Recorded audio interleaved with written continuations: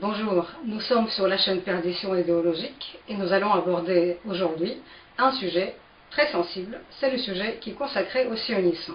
J'ai le plaisir d'inviter ce soir euh, Georges Elia Sarfati, philosophe, linguiste, psychanalyste et poète, spécialiste de pensée juive, qui va nous euh, parler aujourd'hui de ces sujets. Bonjour Georges Elia. Bonjour Grinchpoon. Nous allons commencer cette conversation en parlant de ce concept, sionisme, que beaucoup de gens ne connaissent pas, ou bien qui considèrent ce concept comme un concept marqué par la négativité. Il Mhm. suffit de faire un tour sur les réseaux sociaux où les formules efficaces, comme tu le dis dans tes ouvrages, fusent. Notamment, on compare le sionisme avec le nazisme, ou bien on compare le sionisme avec le fascisme, ou bien on le compare avec l'impérialisme, etc., etc. Euh, quand je demande à mes étudiants de temps en temps qu'est-ce que c'est que le sionisme, ils ne savent pas. Ils n'ont pas la réponse à ces questions. Or, nous nous trouvons à l'université et a priori, toutes les questions qui sont consacrées à la pensée humaine, la pensée occidentale, doivent y être traitées. Le sionisme est une des idéologies qui euh, ont marqué le 19e siècle, le 20e siècle, et euh, dont l'aboutissement est la création de l'État d'Israël.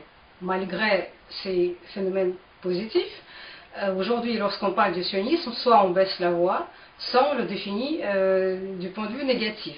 La preuve, c'est par exemple l'accusation d'Israël qui a été euh, formulée à la haie. Israël a été accusé du génocide.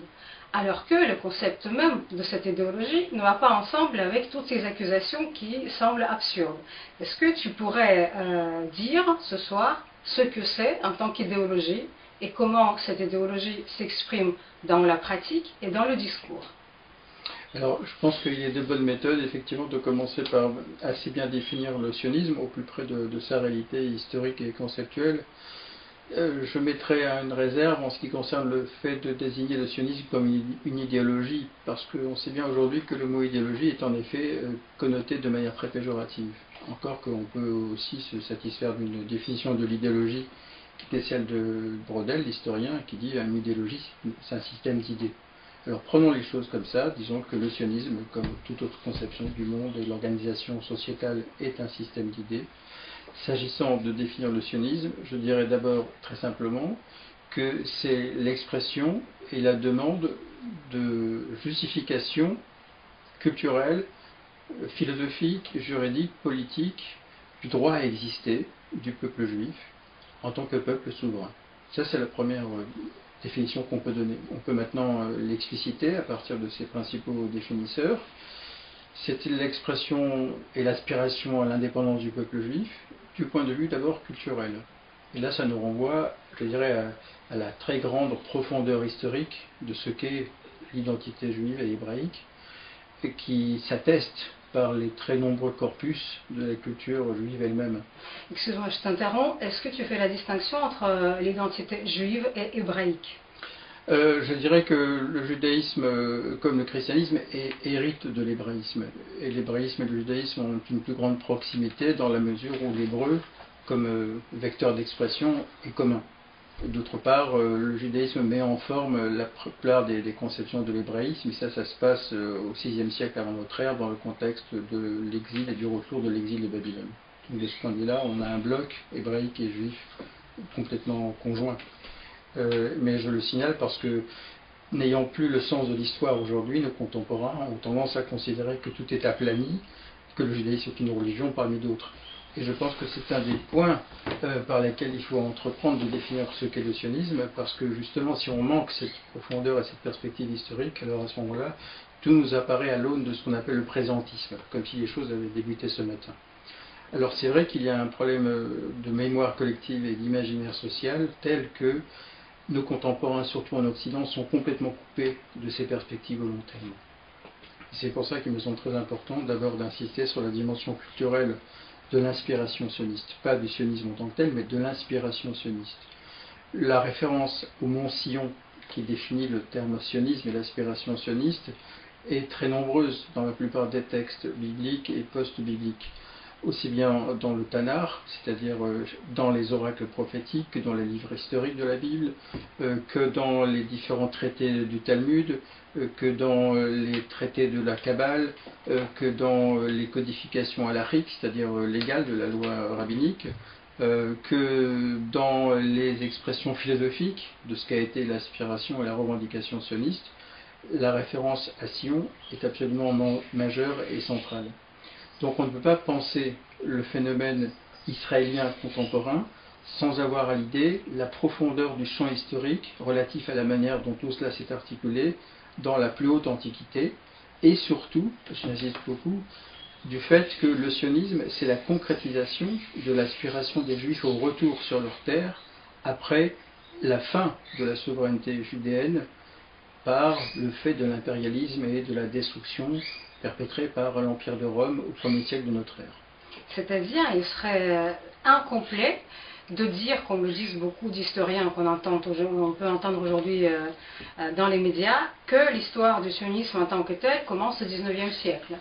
Oui, c'est tout à fait euh, insuffisant et impropre de dire les choses ainsi, parce qu'à ce moment-là, on a effectivement l'impression d'une sorte de sursaut très tardif, soudain, un peu réactionnel relativement à un contexte historique bien précis que je vais par ailleurs évoquer.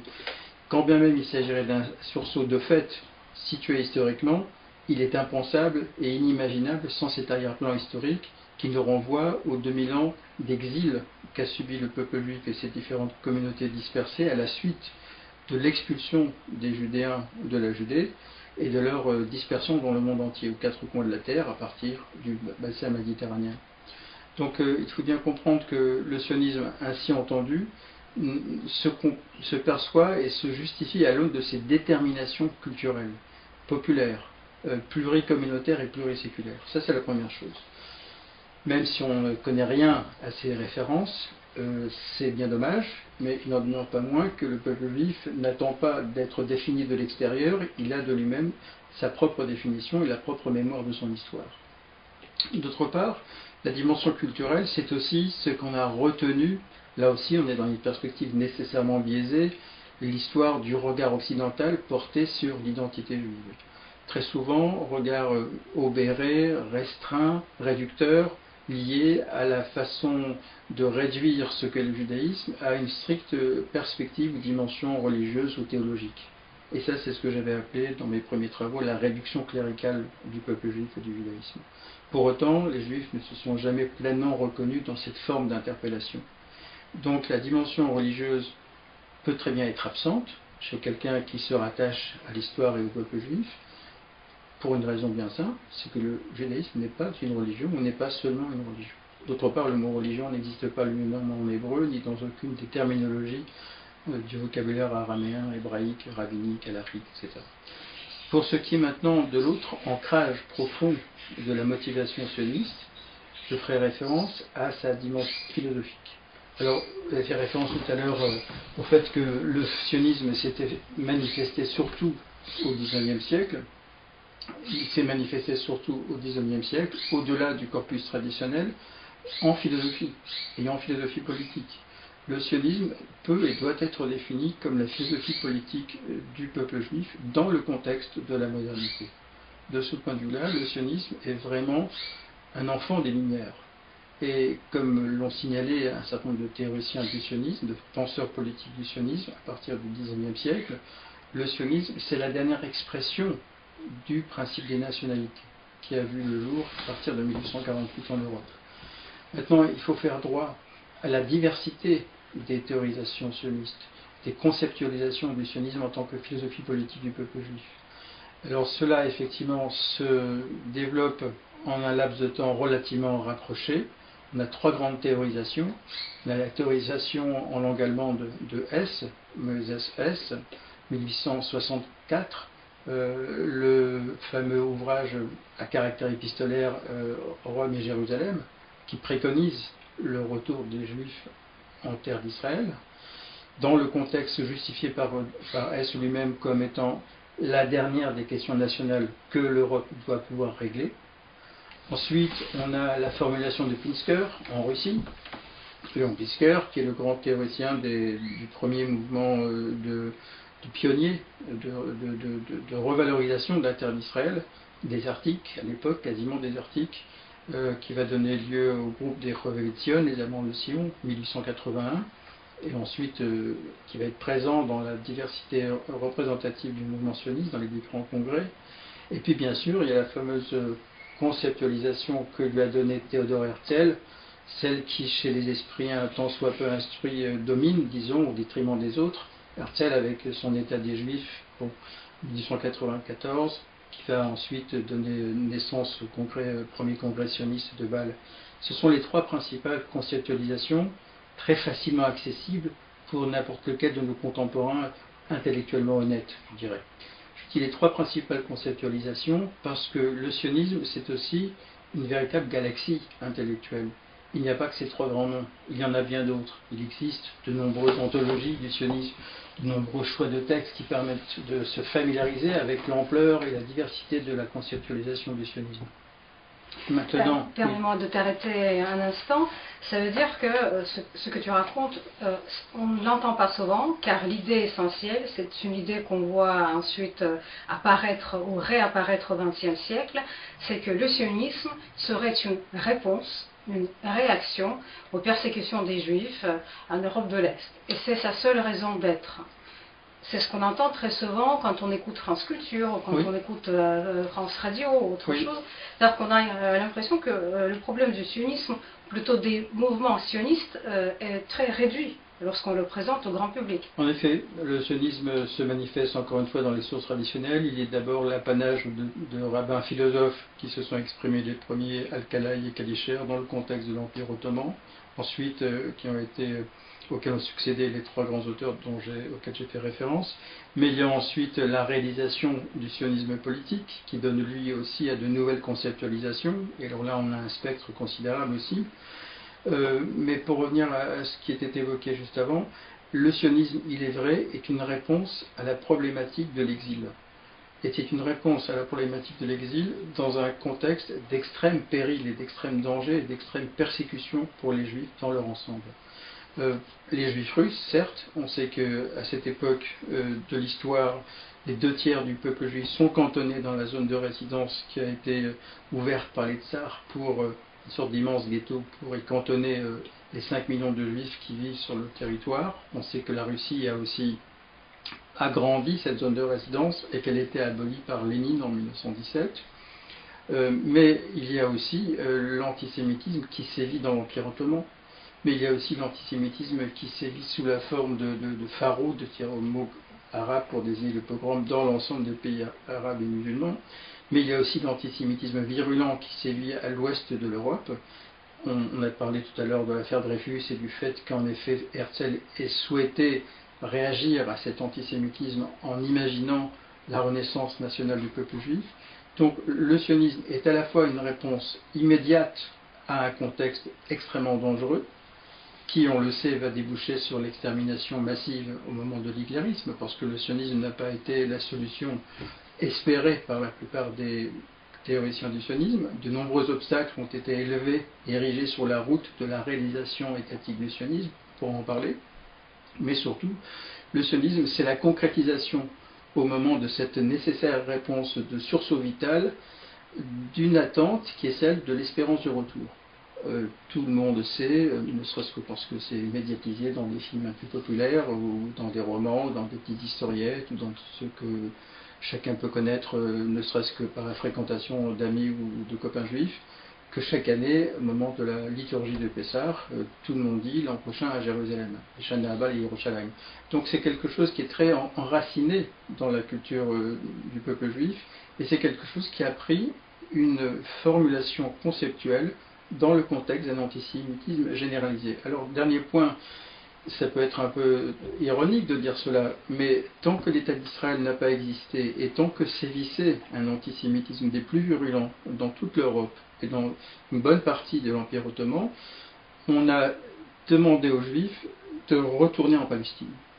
Maintenant qu'ils ont retrouvé leur lopin de terre euh, dans un contexte qui s'appelle la Palestine, mais depuis que l'empereur Adrien a décidé d'effacer le nom de la Judée, eh bien, on demande aux Juifs de quitter Israël parce qu'Israël serait une terre et une représentation, une souveraineté illégitime. Donc on voit bien que l'antisémitisme est toujours au travail, elle cherche toujours à débouter, à délégitimer et à délégaliser les Juifs là où ils se trouvent. Donc tu, euh, là, tu commences à parler du discours antisioniste. Alors je voudrais, avant d'en parler, euh, ajouter euh, deux autres remarques. C'est que j'ai parlé de la fondation culturelle, j'ai parlé de la fondation philosophique. Il faut aussi parler de la fondation juridique. L'État d'Israël repose sur des piliers juridiques qui sont de l'ordre de la légalisation internationale extrêmement solide. De très nombreux traités lui ont conféré cette légitimité et cette légalité jusqu'au vote du partage de la Palestine approuvé par une majorité de nations à l'époque représentées, activement représentées dans le cadre de la nouvelle euh, organisation des Nations Unies. Le partage de la Palestine, on le sait, a été refusé par les Arabes.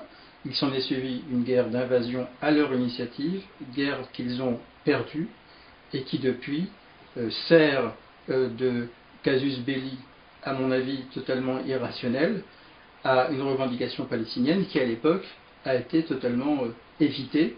Jamais, à aucun moment, d'abord il n'y a eu d'État palestinien avant l'État d'Israël actuel.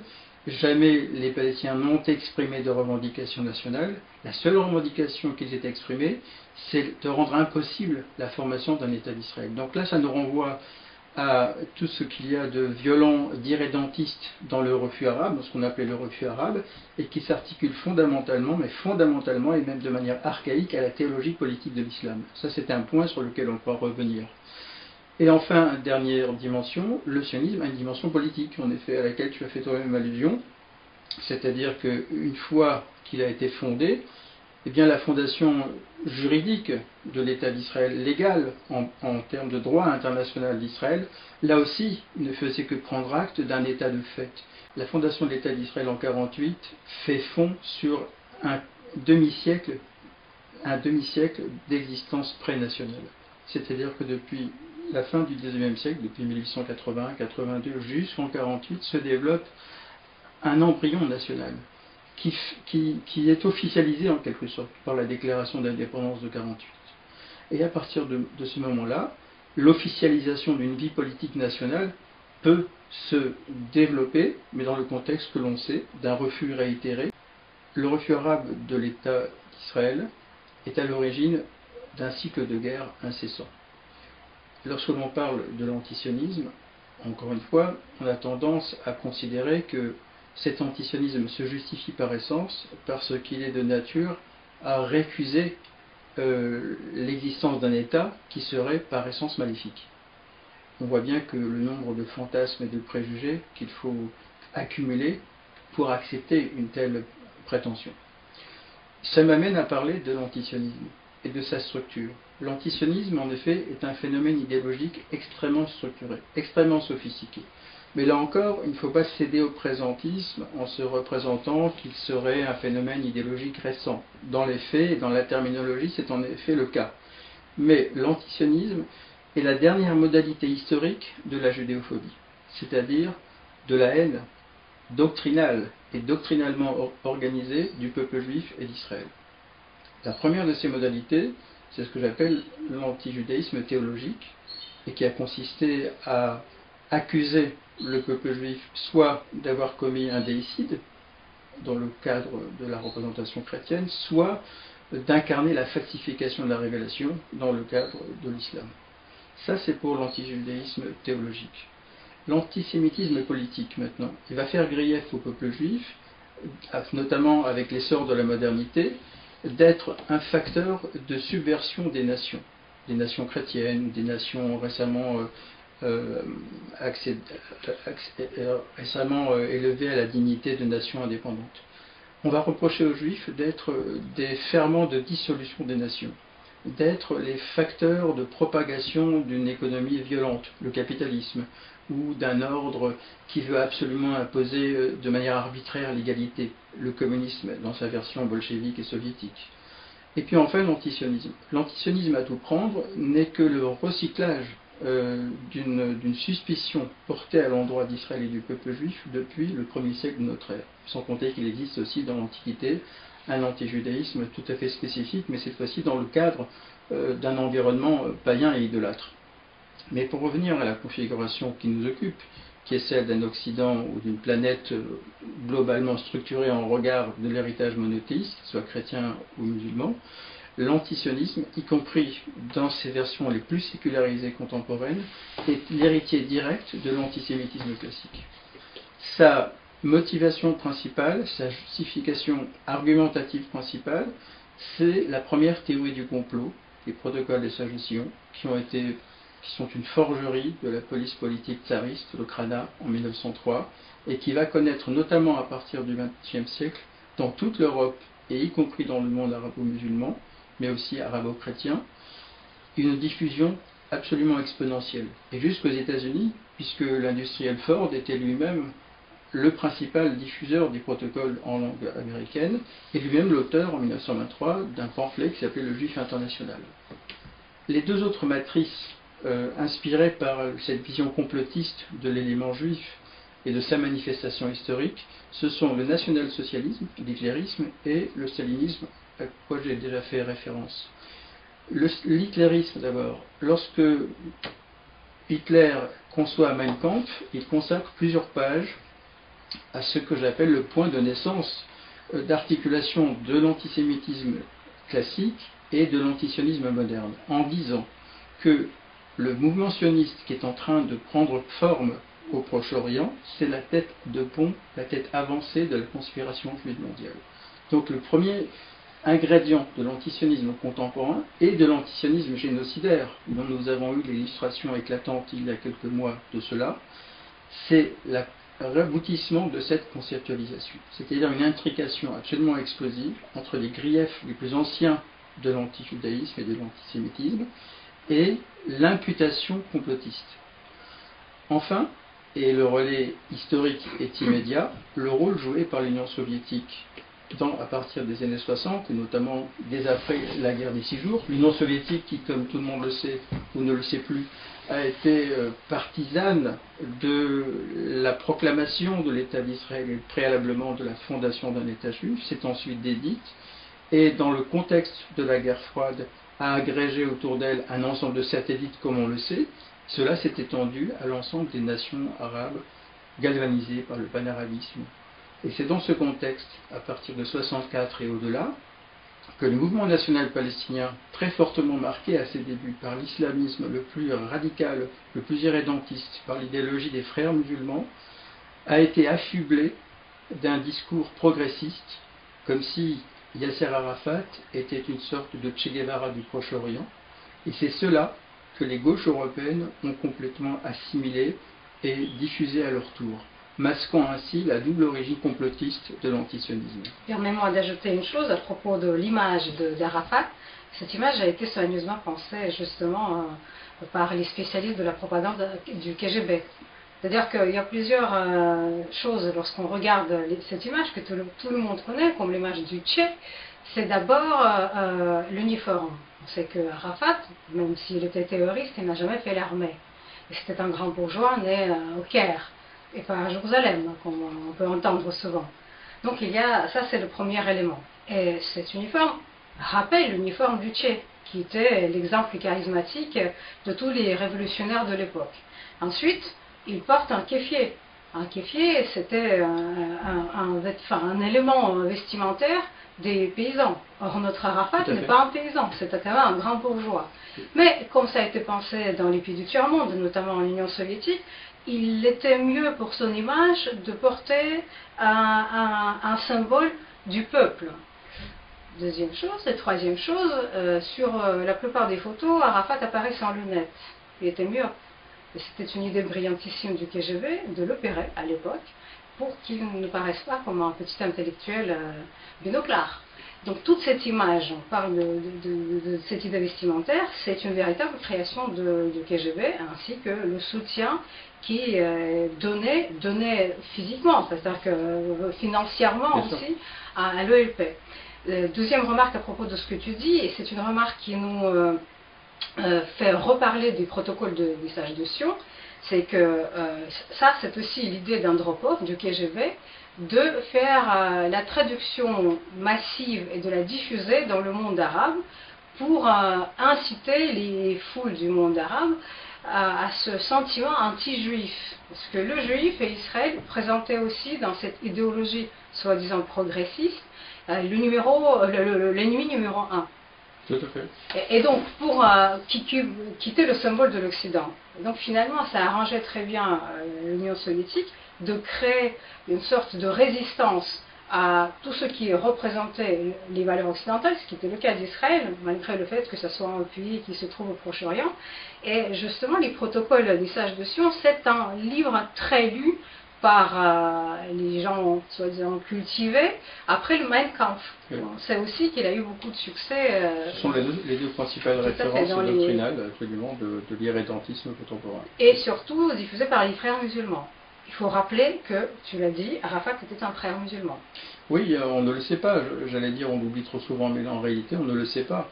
Euh, Arafat a fait partie euh, des, proches missionnés du Mufti de Jérusalem dans sa jeunesse. Et il est effectivement un représentant du mouvement des frères musulmans qui naît à peine dans les années 20 en Égypte, après précisément l'abolition du califat. Et cette expression très radicale de ce qu'on appelle le refus arabe à l'endroit d'Israël est l'une des manifestations de cette fameuse théologie, théologie politique de l'islam qui consiste finalement à faire objection aux juifs de rompre le pacte de la Dima, c'est-à-dire de rompre le pacte qui, dans le cadre de cette théologie politique, les assigne à un statut euh, de, non pas de citoyen de seconde zone, ce serait un anachronisme, mais de protégé. Donc, euh, l'infidélité du juif en la matière a consisté à revendiquer la souveraineté sur un territoire consacré par l'islam commune de ces terres. Et c'est ça qu'il faut bien penser aujourd'hui et que la plupart des Occidentaux, euh, habitués à une conception ouverte de la nation, à une conception multiculturelle de la société, ne voient pas. Il y a un point, un point mort, il y a un angle aveugle sur ce sujet-là, et Israël doit le rappeler dans sa communication. En même temps, l'Occident fait aussi les frais du terrorisme islamique lorsqu'il s'exprime dans euh, le cadre de son propre continent, de ses pays, de ses lieux publics, comme on a fait l'expérience depuis maintenant plusieurs années. L'autre point important, tu as parlé du rôle euh, joué par l'Union soviétique et par le KGB pour promouvoir une figure d'Arafat euh, guerriero, incarnation de la revendication post-coloniale ou décoloniale ou anticoloniale ou anti-impérialiste. Dans le contexte des années 60, il y a un autre événement extrêmement important qui va nous amener à parler de la longue liste euh, des grandes initiatives institutionnelles de délégalisation et de délégitimation d'Israël, c'est le congrès des, non-alignés euh, de Bandung, qui s'est tenu en Indonésie en 1955, où le Mufti de Jérusalem, qui était un des farouches opposants au mouvement sioniste et qui avait été le fameux le protagoniste des principales émeutes anti-juives, alors même que l'État d'Israël n'existait pas, est celui qui, à la conférence des non-alignés, va véhiculer à l'intention de ses auditeurs totalement perplexes le mythe de la conspiration juive. Le monde asiatique n'avait jamais entendu parler des juifs et on leur parle d'une entité qui vient de s'établir sous les yeux euh, du Moufti, contre laquelle il, se bat depuis euh, plus de trois décennies, et on leur apprend à, ces fractions de l'humanité médusée qu'il y a une petite entité maléfique et qu'elle s'oppose à l'indépendance des peuples. Donc ça c'est un point très important qui a pesé lourd dans la mémoire des militants euh, des années 60. C'est aussi un des échos assez rapprochés de cette fameuse conférence de Bandung qui va annoncer l'esprit des conférences de Durban qu'on a connu il y a un quart de siècle, en 2001, euh, l'esprit euh, de la création du mouvement du BDS que l'on connaît et que l'on subit depuis 2005, ça va faire presque un quart de siècle, euh, et l'esprit de cette fameuse décision de Pretoria d'assigner l'État d'Israël en comparution devant la Cour internationale de justice pour soupçon de génocide. Ce qui reste de tout cela, c'est en effet un phénomène idéologique extrêmement structuré, euh, qui est quasiment insubmersible Et il faut prendre beaucoup de précautions pour s'attaquer à ce phénomène et pour être convaincant dans sa déconstruction et dans sa mise en cause. Parce que, comme tu l'as évoqué au début de notre entretien, le discours antisioniste, c'est un langage. Euh, c'est une articulation rhétorique et argumentative extrêmement simpliste. Comme tout langage, il y a une syntaxe, il y a un lexique, il y a une sémantique, il y a même une pragmatique, c'est-à-dire une manière de calculer les effets de discours. La syntaxe, elle est élémentaire, c'est un ensemble d'équivalences, de prédications à un prédicat simple du type X et Y. Le sionisme, c'est le racisme. Le sionisme, c'est le nazisme, c'est l'impérialisme, c'est le colonialisme, c'est l'apartheid. Donc voilà le système d'équations que j'ai qualifié d'équations efficaces dans ma première analyse du phénomène antisioniste. Ces équations sont efficaces parce que comme toute équation idéologique, elles reposent sur un mécanisme spéculaire, c'est-à-dire qu'elles donnent à reconnaître des évidences. Et quelles sont ces évidences? Ce sont les évidences que la conscience et la mémoire occidentale ont emmagasinées depuis que le XXe siècle est XXe siècle. C'est-à-dire le colonialisme, c'est la France en Algérie, l'impérialisme et le colonialisme, de nouveau, c'est les États-Unis au Vietnam, le racisme et l'apartheid, c'est Hitler ou c'est l'Afrique du Sud.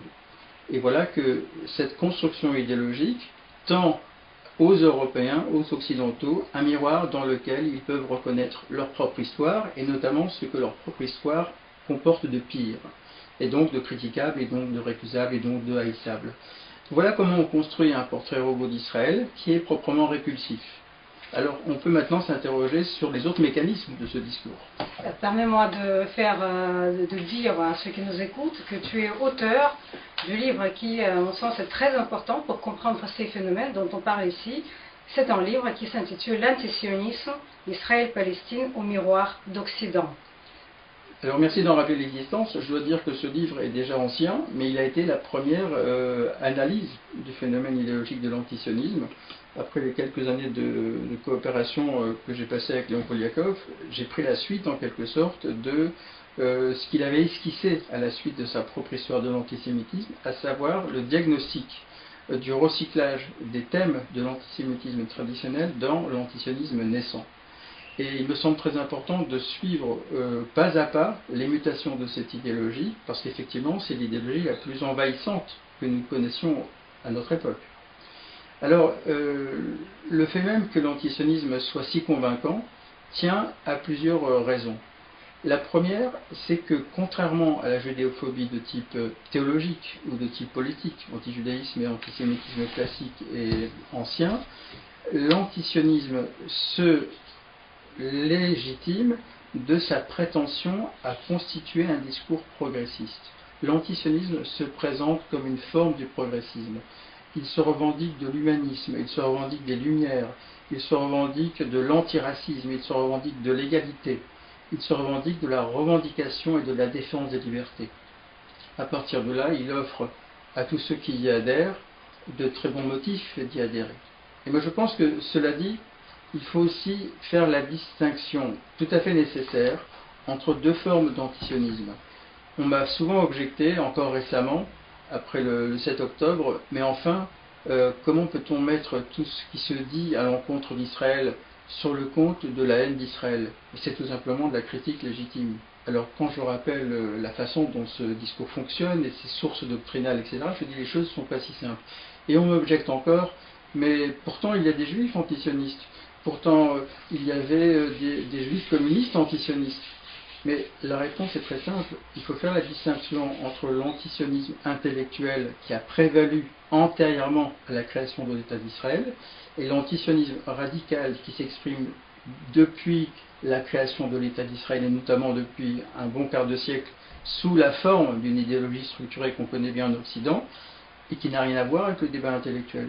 L'antisionisme radical n'est pas un antisionisme culturel, intellectuel ou philosophique euh, qui se comparait au refus des Israélites de s'établir en, Israël, au refus euh, de certains euh, ultra-orthodoxes d'adhérer à la philosophie séculière du, sionisme, non plus qu'au refus des révolutionnaires du Bund de ne pas adhérer au sionisme.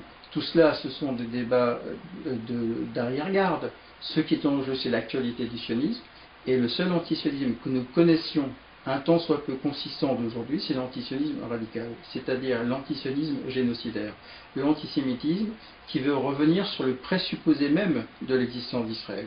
Et cela, c'est une idéologie criminelle. Et c'est pour cela qu'il faut la combattre. Et en aucun cas, l'antisionisme ne se confondrait, ne se confond avec la critique légitime de l'État d'Israël ou du gouvernement, de, la politique de tel ou tel gouvernement. À ce propos, on peut penser au paradoxe qu'on observe en Occident, justement. Euh, l'idée de la nation juive, parce qu'Israël est une nation juive, elle n'est absolument pas supportable pour euh, quelqu'un qui a été élevé dans ce qu'on appelle le postmodernisme. Parce que l'un des éléments du postmodernisme, c'est le rejet même du principe des nationalités, des, nationalismes.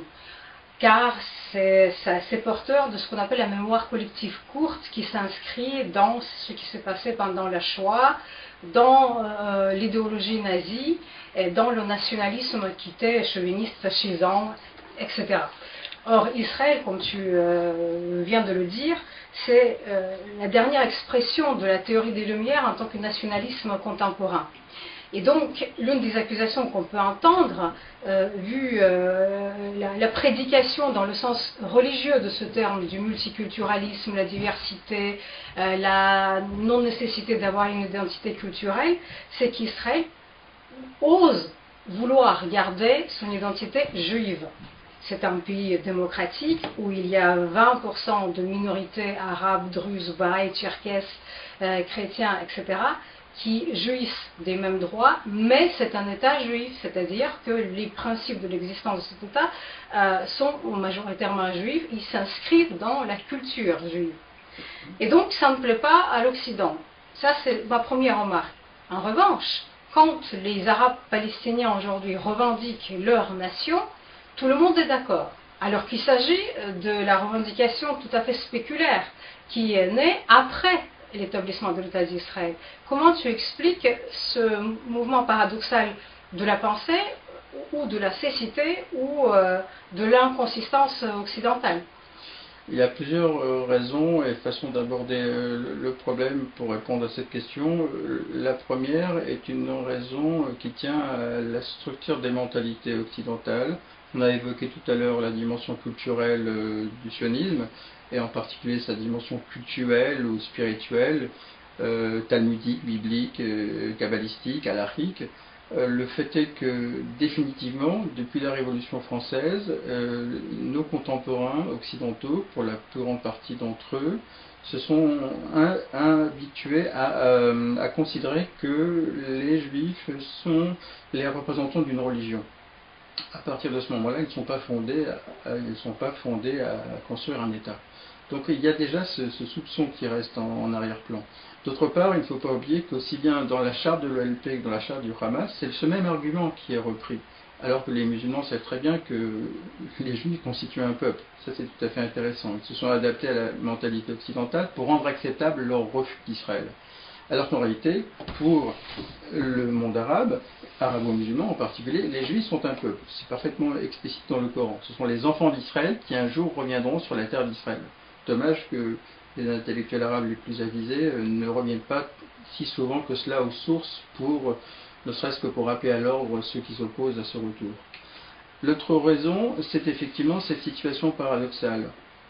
Alors que le sionisme est la dernière expression du principe des nationalités, son histoire politique s'épanouit dans un contexte d'après-guerre. Et là, c'est le paradoxe, c'est quelque chose de difficilement recevable. Comment, ayant construit un creuset qui s'appelle l'Union européenne, peut-on supporter qu'un État de sensibilité occidentale, disons, mais de caractère juif, puisse vouloir vivre sa propre vie sans se rattacher à ces organisations euh, néo-impériales?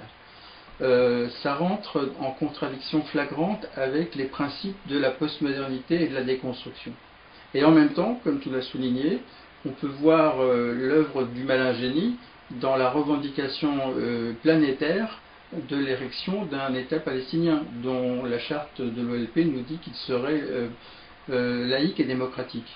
Entre nous, ce serait un apax dans l'histoire du monde arabo-musulman, ce serait bien le seul État laïque et démocratique. Donc c'est un pur fantasme, c'est un pur fantasme qui complaît à la représentation qu'une certaine gauche se fait de l'universalisme, et c'est surtout la revendication de la solution à deux États, en attendant une véritable réforme des mentalités du peuple palestinien, la revendication, cette revendication double nationale est le dernier obstacle qui s'élève sur le chemin de la construction et de l'affirmation du projet.